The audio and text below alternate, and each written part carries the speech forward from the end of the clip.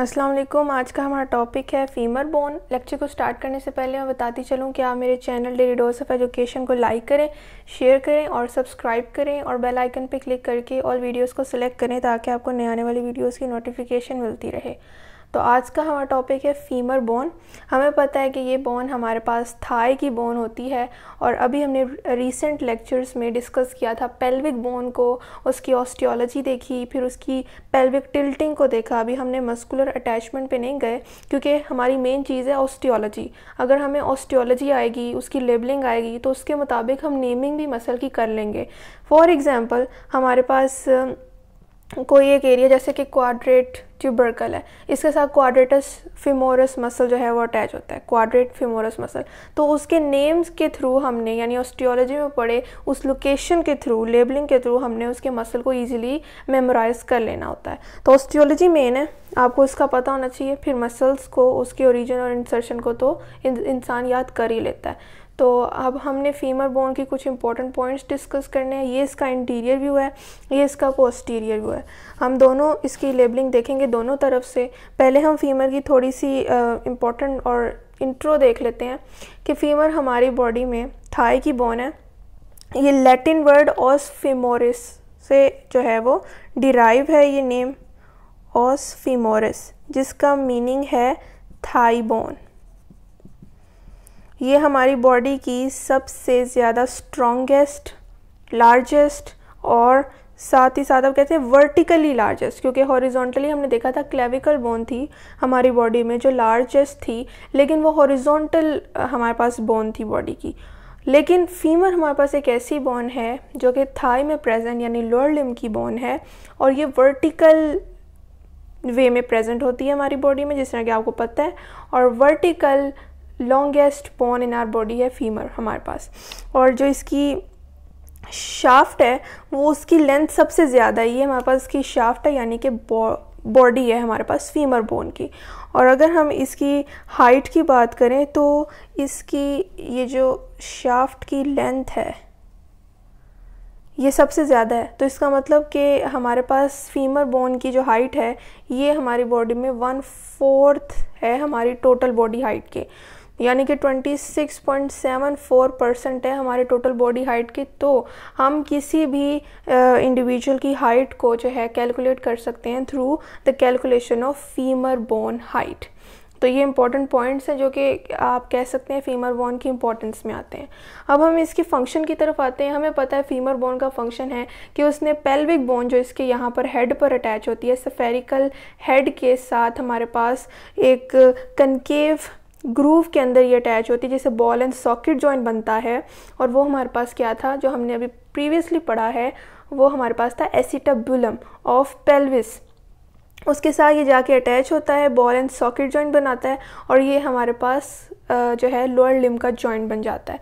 और ये इसका फ़ंक्शन है कि ये हमारी बॉडी के अपर रीजन को के वेट को ट्रांसलेट करता हुआ डाउनवर्ड लेता हुआ टीबिया और पटेला जो है, उसके साथ जाके आर्टिकुलेट होता है। तो ये पॉइंट्स आपने याद रखने जो कि हमें लोअर लिम और पेल्विस के दरमियान कनेक्शन के तौर पे हमें याद होने चाहिए। ये हमारे पास इसका सफेरिकल हेड है और ये जो एक डिप्रेशन आपको नज़र आ रहा है, ये फोविया है। इस फोविया के साथ लिगामेंट अटैच होता है, जो कि आप, हम लिगामेंट जब स्टडी करेंगे तो उसमें ही देखेंगे। यहाँ पर आपको सिर्फ़ ये पॉइंट याद रखना है कि फोविया एक डिप्रेशन है हेड के सुपीरियर साइड पे और हमारे पास ये लिगामेंट्स के साथ अटैचमेंट देता है। उसके नीचे अगर आप आते हैं, ये इंटीरियर व्यू पहले हम बात कर रहे हैं, फिर हम पोस्टीरियर की तरफ़ जाएँगे। ये हमारे पास नेक आ जाती है और और हमने ये चीज़ देखी थी बोन को जब हमने एज आ बेसिक स्टडी किया था कि ये हमारे पास रीजन होता है एपीफाइसिस ये डायाफाइसिस ये भी एपिफाइसिस इसे हम कहेंगे प्रॉक्सिमल एपिफाइसिस इसे डिस्टल एपिफाइसिस और डायाफाइसिस एपिफाइसिस के इन बिटवीन होता है। और हमारे पास एपिफाइसिस और डायाफाइसिस के इन बिटवीन होता है मेटाफाइसिस जहाँ पर बोन की ग्रोथ और डेवलपमेंट होनी होती है। मेटाबॉलिज्म कह सकते हैं आपको, वहाँ पर ग्रोथ रेट जो है वो वो पूरा हमारे बोन का पर्टिकुलर बोन का डिसाइड किया जाता है। तो वहाँ पर हमने ग्रोथ प्लेट भी पढ़ी थी, जो कि इस रीजन में प्रेजेंट थी मेटाफाइसिस में ही, जिसे हम एपिफीजियल लाइन या ग्रोथ प्लेट कहते थे। वो हमारे पास, जब हम अडल्ट बोन की बात करें, एक अडल्ट इंडिविजुअल की बोन की बात करें तो वो फ्यूज़ होकर ओसिफाइड हो जाती थी, यानी कि कार्टिलेज था ग्रोथ प्लेट हमारे पास, वो टर्न हो जाता है इनटू बोन बिल्कुल बोन में जो है वो कन्वर्ट हो जाता है तो उसे हम कहते हैं ओसिफाइड या ओसिफिकेशन कहते हैं उस प्रोसेस को। तो ये ये भी पॉइंट आपको इस फीमर बोन से याद आ गया होगा। फिर हमारे पास इसकी है, ये जो एक आपको स्ट्रक्चर नज़र आ रहा है, थोड़ा सा आप कह सकते हैं इमिनेंस नज़र आ रही है, उसे हम कहेंगे लेसर ट्रोकेंटर अब हमारे पास इसी की ऑपोजिट साइड पे ये जो आपको एक सरफेस रेज हुआ नज़र आ रहा है, इसे हम कहेंगे ग्रेटर ट्रोकेंटर और इन दोनों के इन बिटवीन एक लाइन डॉटेड मैंने शो की है, जो कि लेसर ट्रोकेंटर और ग्रेटर ट्रोकेंटर के इन बिटवीन है. इसे हम कहेंगे इंटर क्योंकि इन बिटवीन है trochanteric line inter trochanteric line यानी कि लेसर और ग्रेटर ट्रोकेंटर के इन बिटवीन जो लाइन प्रेजेंट होती है. फिर हम बात करते हैं इंटीरियरली ही तो हमारे पास ये डाउन अगर हम बात करें तो दो एपिकोंडाइल्स हैं एपिकोंडाइल्स होती हैं थोड़ी एक्सटेंशंस बोन की। एक हमारे पास इस साइड पे, इस साइड पे। हमें पता है हेड हमारे पास होता है मीडियल साइड पे बिकॉज़ मीडियली हमारे पास पेल्विक बोन है जिसके साथ अटैचमेंट होनी है। तो ये मीडियल एंड है, ये लेटरल एंड है। तो मीडियल एपिकोंडाइल इस रीजन में प्रेजेंट है लेटरल एपिकोंडाइल इस रीजन में प्रेजेंट है। और इनके इन बिटवीन जो स्पेस है, उसे हम कहते हैं पटेलर स्पेस जिसके साथ जाके फीमर बोन ने अपने डिस्टल एंड में आर्टिकुलेट होना होता है विद द पटेला बोन और साथ ही साथ टिबिया बोन उसके बाद अगर हम, ये हमने सारा देख लिया इसका इंटीरियर व्यू अब हम आते हैं इसके पोस्टीरियर व्यू पे। पोस्टीरियर व्यू हमें ज़रा गौर से समझना है। ये हमारे पास ट्रोकेंटेरिक फोसा है। और ये ग्रेटर ट्रोकेंटर है और आपको पीछे जो है पोस्टीरियर व्यू दिखाया गया है ग्रेटर ट्रोकेंटर का, जो कि यहाँ पर इतना सही दिखा सकी इंटर इंटीरियर व्यू में। फिर ये हमारे पास जो एक सरफेस बन रहा है ग्रेटर ट्रोकेंटर में, ये वाला, एक क्रस्ट लाइक सरफेस इसे हम कहते हैं ट्रोकेंटेरिक क्रस्ट क्योंकि ये क्रस्ट की शेप बना रहा है। और यहाँ पर एक ट्यूबरकल है, जिसे हम कहते हैं क्वाड्रेट ट्यूबरकल जिसके साथ क्वाड्रेट फ्यूमोरस मसल जाके अटैच होती है। फिर हमारे पास टू लाइन स्टार्ट होती हैं, एक पेक्टीनियल लाइन ये है, एक ग्लूटियल ट्यूबरोसिटी ये। ये दोनों लाइंस यहाँ से स्टार्ट होती हैं और स्टार्ट होकर ये जॉइन होकर एक लाइन बनाती है, जिसे हम लीनिया एस्पिरा कहते हैं। लीनिया एस्पिरा के भी हमारे पास टू लिप्स होते हैं, जो हेड की तरफ़ है उसे हम मीडियल लिप कहेंगे और जो हमारे पास दूसरी ऑपोजिट साइड है, उसे हम lateral lip of linea aspera कहेंगे। और ये एंड अप होता है to the digital end of the posterior aspect of femur bone और हमारे पास बनाता है लेटरल सुप्रा कॉन्डाइलर लाइन जिसे हम सुप्रा कॉन्डाइलर रिज कहते हैं और इस, इस उसी तरह ऑपोजिट साइड पे मीडियल सुप्रा कॉन्डाइलर रिज बनता है। ये लाइंस असल में लेटरल और मीडियल सुप्रा कॉन्डाइलर रिज को शो करी है। सुप्रा कॉन्डाइलर नेम से इंडिकेट है कि कॉन्डाइल से सुपीरियरली प्रेजेंट है। और फिर इन दोनों के इन बिटवीन जहाँ पर ये एंड अप हो रही हैं लीनिया एस्परा कन्वर्ट हो रही है इंटू सुप्रा कॉन्डाइलर रिज यहाँ पर जो एंड अप होते हुए एक सरफेस बन रहा है, इसे हम कहते हैं पोपटी पोपलीटियल सरफेस ठीक है? जिस तरह हमारे पास ह्यूमरस पोन में हमने एक फोसा पढ़ा था उसी तरह से यहाँ पर पोपलीटियल फोसा बनता है और ये उसका सरफेस है, पोपलीटियल फोसा।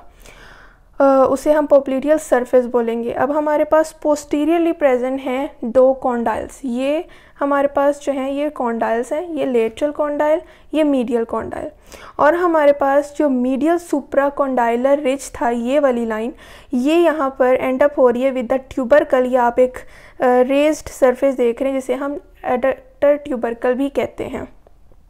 उसके बाद हमारे पास ये टू कॉन्डाइल्स हैं, जिसमें से ये है लेटरल कॉन्डाइल और ये है मीडियल कॉन्डाइल तो उसके इन बिटवीन इन दो कॉन्डाइल्स के दरमियान भी एक सरफेस है, जिसे हम इंटर कॉन्डाइलर फोसा यानी कि कॉन्डाइल के बीच में एक प्रेजेंट फोसा को डिस्कस कर रहे हैं। तो ये हमारे पास इसकी पूरी लेबलिंग थी, ये इतनी डिफ़िकल्ट नहीं है। अगर आप इसे देखें इंटीरियरली जो थी वो मैंने आपको बताई और ये मीडियली प्रेजेंट थी। अब अगर हम बात करें, हमें कैसे पता लगेगा कौन सी हमारे पास राइट right फीमर है और कौन सी लेफ़्ट है? तो आपको सिर्फ़ टू पॉइंट्स याद रखने हैं। हमेशा कॉन्डाइल्स पोस्टीरियरली प्रेजेंट होंगे। देखिए इंटीरियरली मैंने आपको सिर्फ़ पेटेलर सरफेस का बताया। ये इंटीरियरली प्रेजेंट है, आपको पता है कि हमारे पास जो नी जॉइंट है, वो हमारे पास इंटीरियर यानी फ्रंट साइड पे बनता है। तो यहीं पर पेटेलर सरफेस प्रेजेंट होगा, जहाँ पर फीमर ने अपने डिस्टल एंड के साथ आर्टिकुलेट होना है विद द पेटेला बोन तो पोस्टीरियरली यानी बैक अगर हम व्यू करते हैं एक थाई को तो आपको पता है उस रीजन में कॉन्डाइल्स होंगे। तो पोस्टीरियरली कॉन्डाइल्स प्रेजेंट होते हैं और हेड हमारे पास हमेशा मीडियली प्रेजेंट होगा। यहाँ पर देखें, ये हमारे पास हेड है, ये मीडियली ही बॉडी के प्रेजेंट होगा बिकॉज़ इसने ही जाके पेल्विस बोन के साथ आर्टिकुलेट होना होता है। और एक पूरा एक हिप जॉइंट बनाना होता है। तो ये हमेशा मीडियली प्रेजेंट होगा। ये दो पॉइंट्स अगर आप याद रखेंगे, उसकी बेस पे आप असाइन कर सकते हैं कि ये हमारे पास राइट और लेफ़्ट फीमर बोन है। तो ये था आज का हमारा टॉपिक जिसमें हमने फीमर बोन की ऑस्टियोलॉजी को देखा। आई होप आपको आज के लेक्चर की समझ आई होगी। इसका इंटीरियर और पोस्टीरियर व्यू आपको क्लियर हुआ होगा। और ये भी आपको क्लियर हुआ होगा कि कौन से हमारे पास स्ट्रक्चर सिर्फ़ पोस्टीरियर या इन्फीरियर व्यू पोस्टीरियर या इंटीरियर व्यू तक कन्फाइंड है। जैसे कि पोस्टीरियर व्यू में ही आपको कॉन्डाइल्स नज़र आएँगे इंटीरियर व्यू में पेटेलर सर्फेस उसकी जगह पर आपको नज़र आएगा। तो ये पॉइंट्स आपने अपने माइंड में रखने और जो सोशल नेटवर्क्स आप यूज़ करते हैं उधर आप मेरे चैनल के लिंक्स को ज़्यादा से ज़्यादा शेयर करें ताकि वो लोग जो अफोर्ड नहीं कर सकते हैं एक्सपेंसिव बुक्स ताकि वो इस तरह की एस्ट्रियोलॉजी को डिटेल में स्टडी कर सकें, वो ज़्यादा से ज़्यादा बेनिफिट गेन कर सकें। शुक्रिया, अल्लाह हाफिज़।